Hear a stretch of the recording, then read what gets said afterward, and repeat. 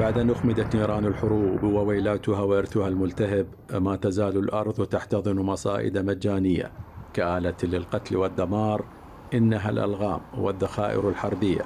فأكثر من 275 مليون متر مربع في إقليم كردستان ملغومة بآلاف المخلفات الحربية وفق ما أشارت إليه تقارير أممية. طبعا بالنسبة لضحايا شؤون الغام حسب الإحصائيات الموجودة لدى في قاعدة البيانات يقدر ب 13563 ضحية من المدنيين الذين تعرضوا إما لفقد حياتهم أو تعرضوا للعوق نتيجة انفجار لغم أو مخلف حرب. وفي يومها الدولي لم تصب هذه الألغام المقاتلين فقط بل حصدت المئات من أرواح المدنيين. خاصة على الشريط الحدودي الممتد من السليمانية وحلبشة ودهوك وأجزاء من أربيل نتيجة تركة الحرب العراقية الإيرانية والتنظيمات الإرهابية.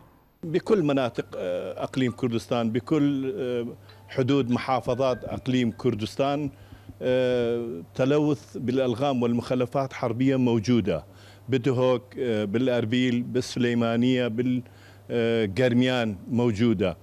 بس ال 60% يقع تلوث هائل من محافظة السليمانية وقرميان.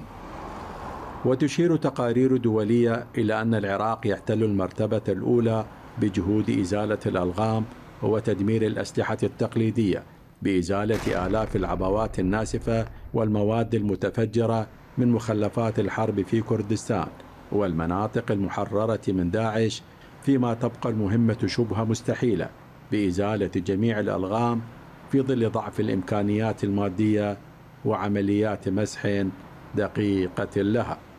بشير الحسن قناة الفلوجة أربيل.